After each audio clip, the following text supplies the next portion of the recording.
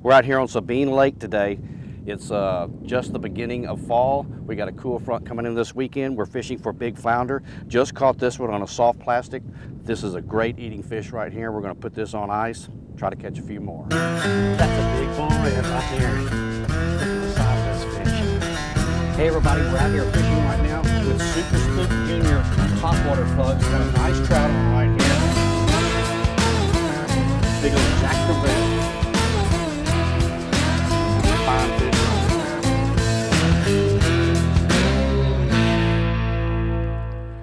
A pretty good flock of birds right here, catching a few reds. Even caught one flounder, just letting the jig sink the bottom and popping it.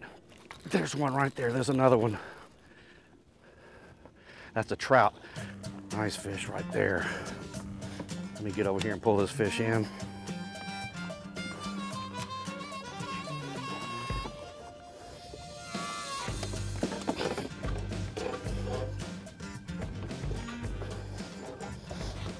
That's what we're after right there. We've got trout and reds under the birds. This one was caught on that Houdini shad too. That's the number one bait today in that particular color right there. The birds are really starting to swarm up and eat the shrimp. And we're here to catch the fish. That's that fantastic bait we're using today. That happens to be a great pattern. Split tail, quarter ounce jig head, glow with the orange eyes that show up real well, wide gap hook. That's a Bomber saltwater grade jig head.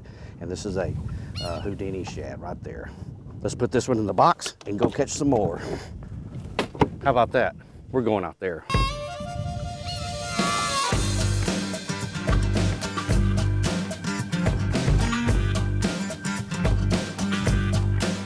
There's one right there.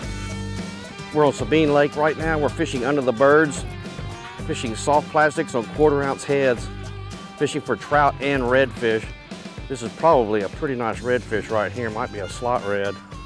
We're right out in the middle of the lake following the birds. What's going on here, the uh, reds and the trout are pushing shrimp to the surface. The shrimp are migrating to the pass and to the Gulf.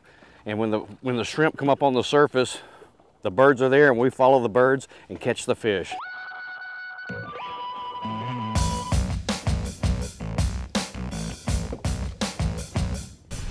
We used right there.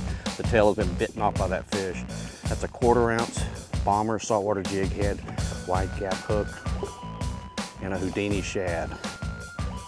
The great thing about fishing under the birds, there is nothing complicated about it. What you want to do, you just get you a pla soft plastic shad bait, like this Houdini shad, which I like very much, and a quarter ounce jig head, and just throw it out there on 12 pound test line, uh, light to uh, medium heavy rod so you can cast a long way.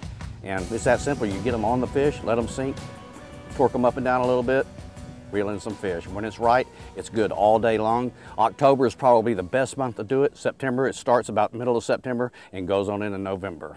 It's great fishing, it's simple fishing, and you can do it.